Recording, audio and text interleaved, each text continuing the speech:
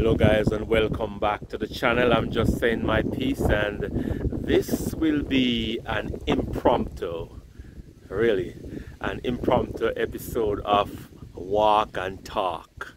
Um, i just came around here to visit someone and uh, this is the road that we used to walk on when i was a child to go to Coley Mountain Primary School uh, this area is called Endeavour and going toward this area here that is going toward Coley Mountain.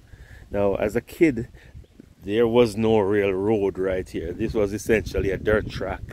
And we used to actually run on this road barefooted. We came to school barefooted back then just to show you how old I was. I am. And yeah we would walk, run and walk along these roads to school every morning. Back then school would begin at 9 o'clock because you know kids had to get up back then and go and tie out the goat and get the milk from the farmer somewhere and all of that sort of thing. So that's how it used to be back then and I kid you not this is a Jamaican yellow plum tree and this plum tree was here when I was a kid and to give you an idea of what they look like. This is what the plums look like. And when they are ripe they are going to be nice and yellow. For all you Jamaicans I'm sure you all know what these taste like and how you even if they didn't belong to you as a kid you are going to pick them anyway. That there's a mango tree over there and that is somebody's yam plantation. And so that's how it was and this is where we used to walk. Hi dear. How you do uh, and as you can see the area is pretty nice. Uh, nice farmland lots of fruit trees everywhere. And most of these houses were here. Well some of them were a little smaller than they are now but they were all here. And this is a pretty nice area. And as you can see one kid down there wearing the Coley Mountain uniform. And yep that's what it is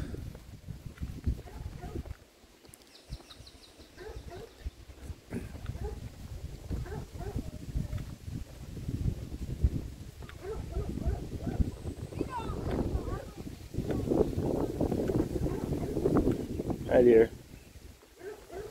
Come.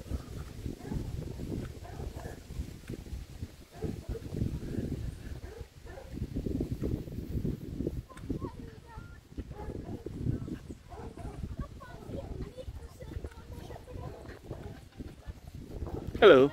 How are you? Good.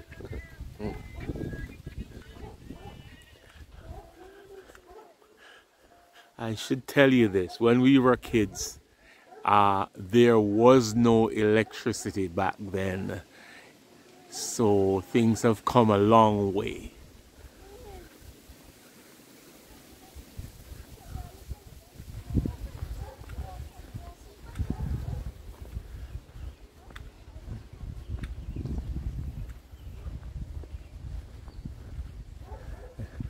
As I said, this is the road to Coley Mountain Primary School. Back then, by the way, it was also it was actually called Coley Mountain All Age, um, and the it went up to grade nine back then. When my mom was a kid, it actually went up to grade eleven. That's way back. As you can see over here, people got their little farms going here and um, it is a by the way uh, early evening sometime after five o'clock. And the sun is sort of just you know painting the hills a nice golden glow as you can see. And yeah I'm not going to walk very far but just to give you an idea of what this area is as we're going up here we are in fact getting out of Endeavour and getting into Coley Mountain.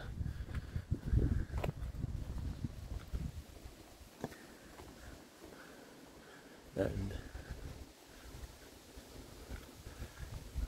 and to be honest, apart from the road being more or less, more or less paved, things haven't changed at all. And, and that is more than 40 something years ago. Yeah. But I absolutely love this area and for all my viewers who are familiar with this area and for some who are from here because I know there are a few of you um, yeah just a bit of nostalgia so you remember where you're from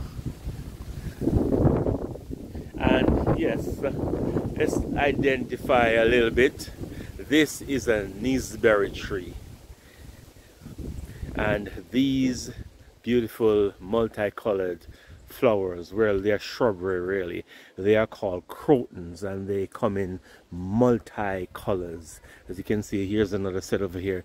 And most of the excuse me most of the older people used them as flowers. And this was the pretty much go-to shrubbery that everyone planted at their um, in their driveways and stuff like that. So if you see some of these flowers or shrubbery along anyone's house you know it's either uh, someone who is older who lives there or they have been there for a very long time. And I can tell you that these shrubberies have been there since I was a kid going to school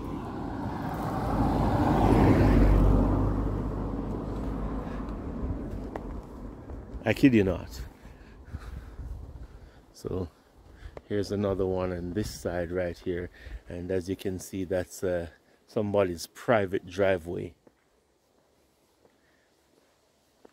And here they are.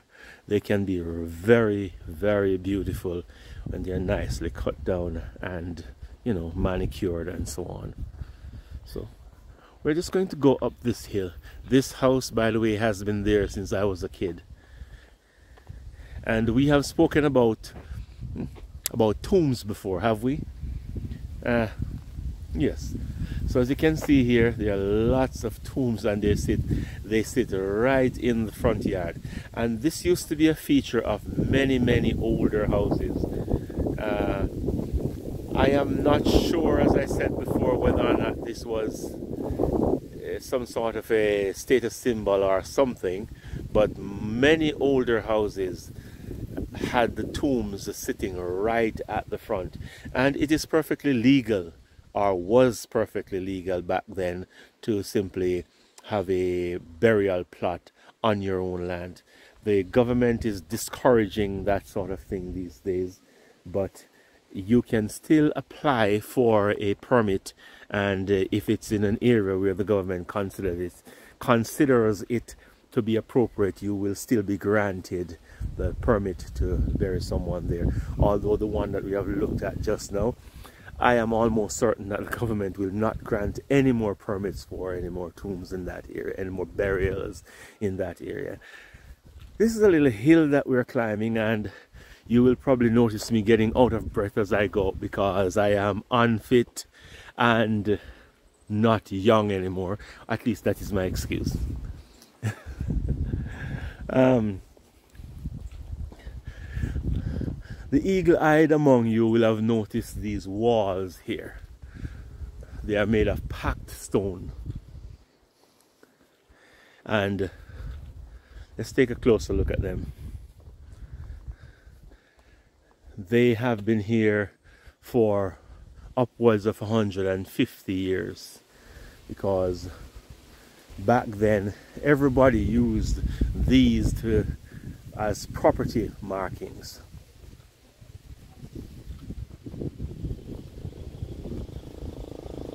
As you can see here even the government did back then. So and one of these properly packed walls they can last for hundreds of years. In fact, in another video, I will take you down to a place close by called Freetown, where the walls have been there since slavery. And you will see that they are just as strong now as they have always been. And hi dear, how are you? and there was no mortar used in them. Now, this is the more modern version of that sort of thing. And I guarantee you that without maintenance, this will go before this. So we are up the hill and I don't seem to be that much out of breath. So it would seem that the whole little bit of walking around in Jamaica has done me some good. And um, my fitness level is increasing. So I think I'll go down to that little level there where you see that car is coming from. And yes, madam. And then we will talk a little bit about this corner here um, and if I feel like the school is just around the corner. For you Jamaicans who know what that means.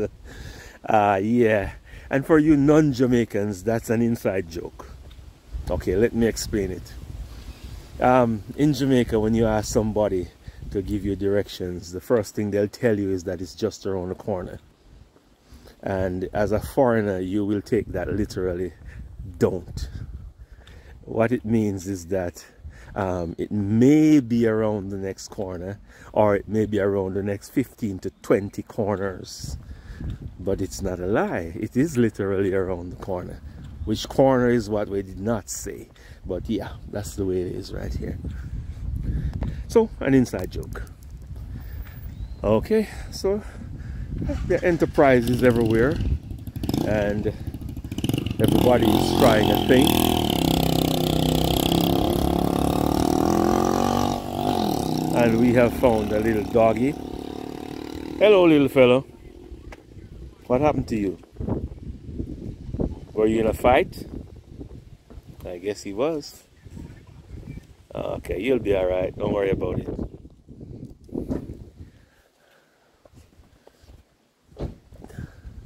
So we are going around the corner.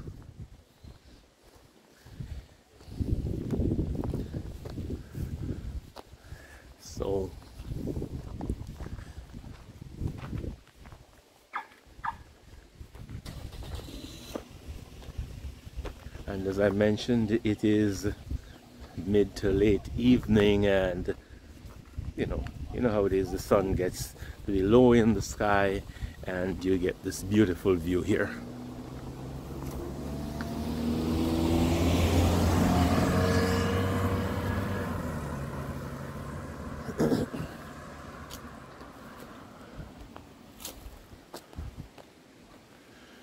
Let's talk about this black jump for a bit. Um, in central Manchester and many other parts of the island, there really is no running water. Uh, ZJ or 2J Killer, um, I guess that's his way of marking his water tank. But yes, it is a water tank, and uh, if you take a, let me just zoom in a little bit and show you.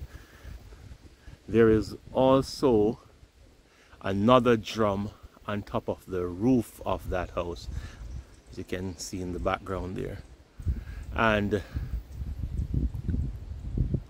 how this is done is that the water off that roof is piped into this drum or there's a water truck that comes around and will you can buy water from that truck and uh, pump it into this drum at which point the these residents will then pump it into the drum that is on top of the roof and then the entire house is gravity fed by water. And again this is because many areas such as these do not have running water and of such we have to provide our own uh, domestic supply in whatever ways we can. And uh, this is one of the ways. The other way of course is to have an in-ground tank. So let us give you a little view of the area around here. Um, there are many people living around here.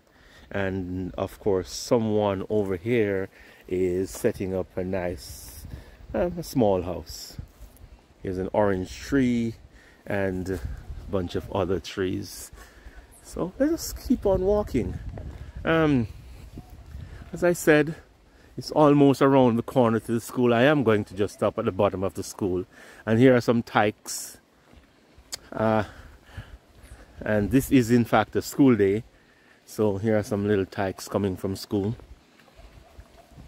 They do wear uniforms here but some of the smaller ones don't.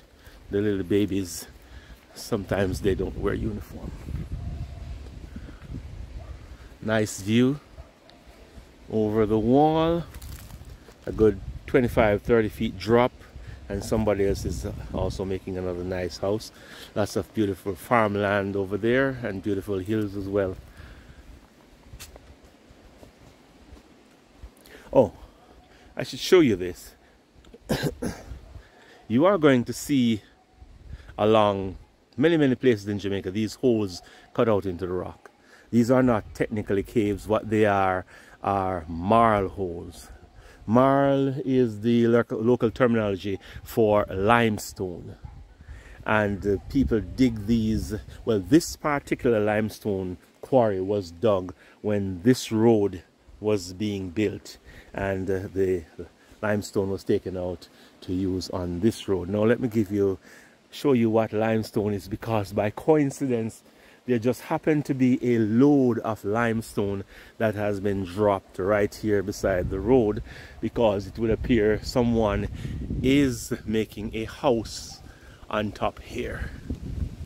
And of course these are hollow block because in Jamaica we do use hollow block construction. So you can see what hollow blocks are this is what they look like. These are 16 by 6 by 8 and that is the standard block that is used in Jamaica for housing construction. And we just happen to be here.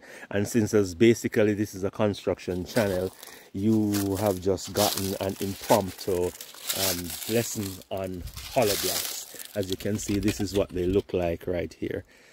And this is what they look like on the side. And there are small companies that make these blocks and you can buy them uh, by the hundred. Um, here we are. This this is marl.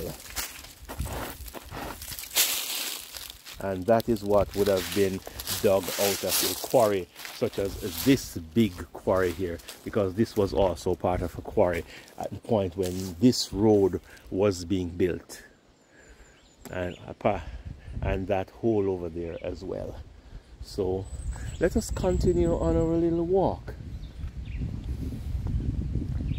And of course there is some infrastructure around as you can see.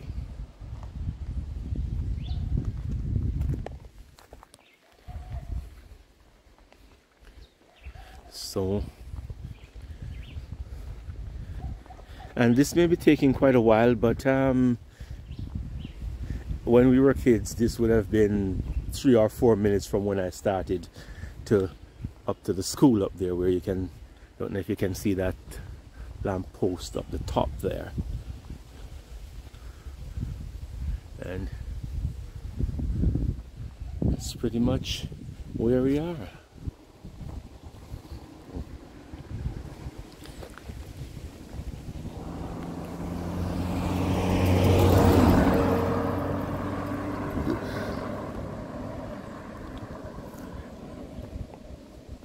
and again in the distance you can see that that beautiful pink and blue you can barely see it so let me sort of try to zoom in a little bit on it and you can have a look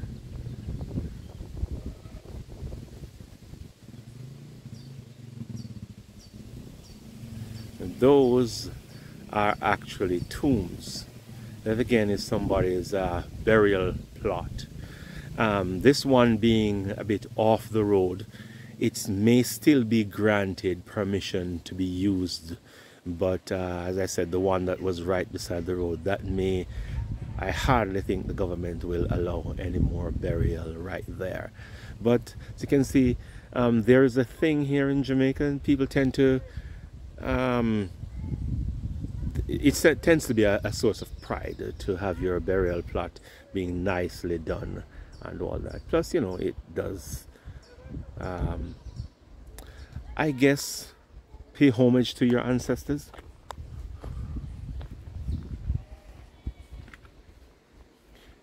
And again, beautiful farmland.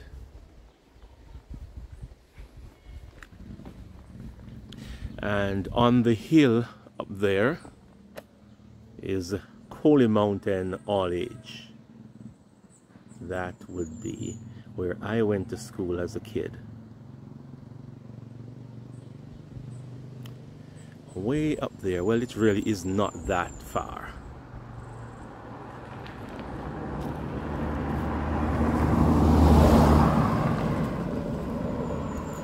and even though the roads are not the best you can as you can see um, our Jamaican drivers are not overly encumbered by that fact.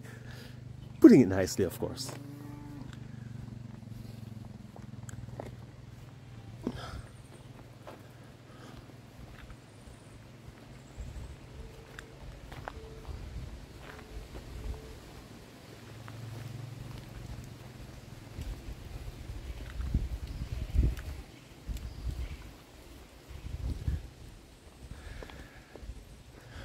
Let's take a look at this little thing for a bit. Um, I think this plant is called a sisal. Now, don't quote me on that because I am not 100% sure of the name.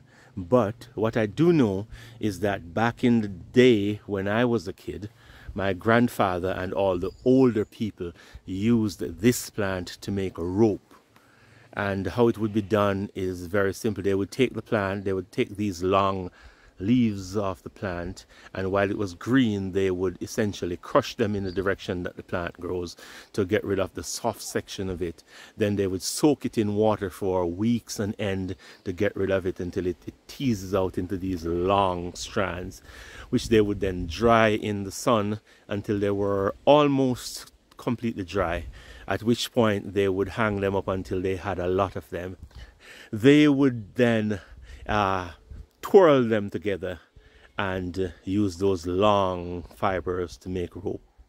And as I understand it, they, these ropes were almost indestructible. Of course, nowadays nobody does that. You know, oil, plastic fibers, and nylon rope, and all that stuff.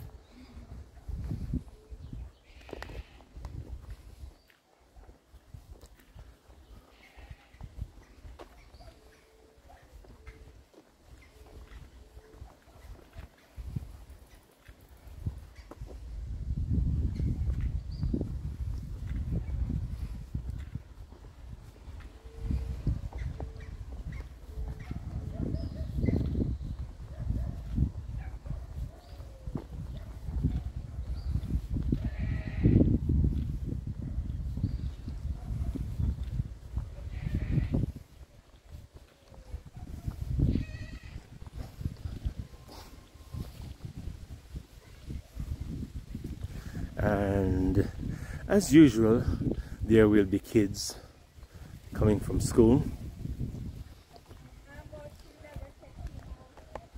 Hi. Uh, when I was a kid this was the only shop around this area for miles. And for those who may remember a gentleman called Mr. Morgan used to operate this shop and he was the only person in this area who had a car. So this car was the de facto community taxi or emergency uh, ambulance whenever people were sick. And of course, people would come from miles around, and I mean that literally, miles around everywhere that you can look at here, miles around, to come to this gentleman here, Mr. Morgan, whenever someone was sick to take them to the hospital. And it didn't matter night, day, whether or not it was raining or there was, a well, we don't have snow here, but you know what I mean. Regardless of the climatic conditions, he was always ready to make that emergency run. So, Mr. Morgan, rest in peace.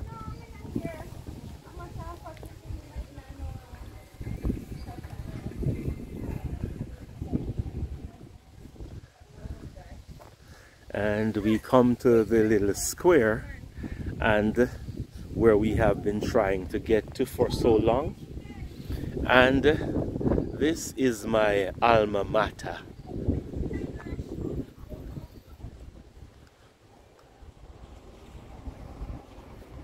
Coley Mountain Primary and now infant school.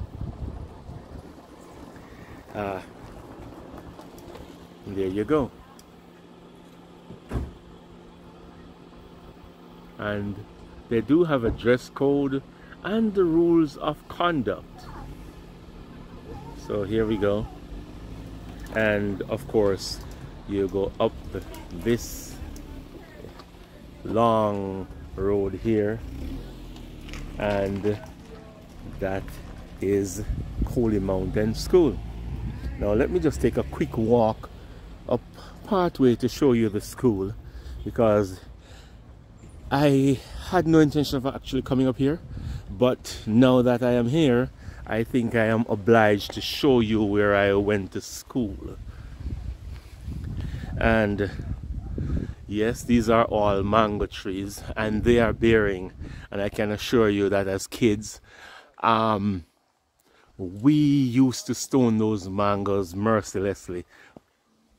There you are. All those stones would be halfway over the road and of course the teachers would not be pleased and as kids we would try to do it discreetly now can you imagine trying to throw a stone on a tree discreetly yeah but we were kids so that was that was our thought process now as you can see the school itself is essentially a one long building and it's divided internally and back in the day when I came to this school there were nine classrooms, as I said, grade one to nine.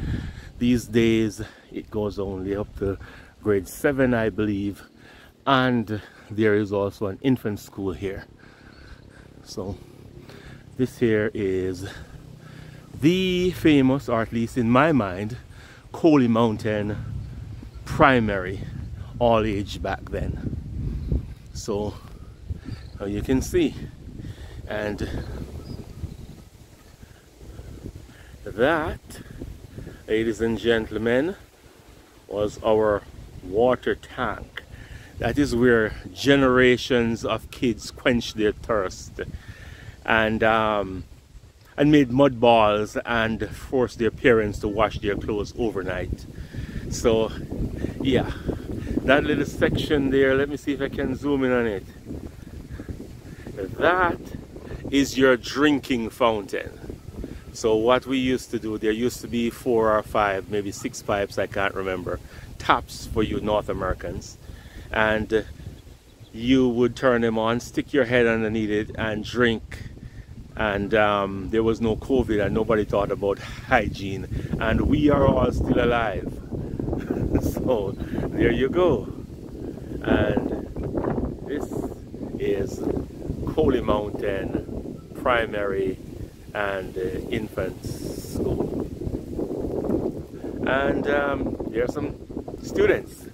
Now, let me give you a little treat for all of you who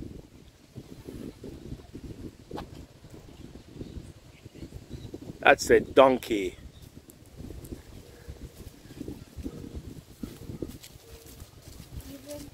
Hello, how are you? Good. and it seems to be a very curious donkey. Hello, big fella. What's up? Yep. And quite frankly, this is a for those who do not know, this donkey is a little bigger than what donkeys normally are, the size donkeys normally are. But yeah, he's just grazing along. He don't care about nothing. Do you? All right. So, ladies and gentlemen, oh, I was about to sign off, but I, I would be remiss if I did without showing you the church. Back when I went to school, this church here was in fact closely associated with the school and this is where we would do our harvest. Um, uh, at the moment I cannot recall what denomination this church is. It may be a Catholic church, but I'm not 100% sure. But this building has been there for at least 200 years. The church in the background. The building in the foreground um, is much newer. It is much newer, but um, yeah, the church has been there for quite a while. As you can see, it's of stone construction and it is quite robust. It's actually beautiful inside, by the way. I've been in there many, many, many times as a kid. So, again, guys, thanks for watching. This has been another episode of Walk and Talk, and this one was from uh, a little bit into Endeavour and uh, a little bit into Coley Mountain and we ended this one at my alma mater Coley Mountain Primary and Infant School. And by the way they could do with your help. So again thanks for watching. Don't forget to like subscribe and share the videos. And you all as usual have a great day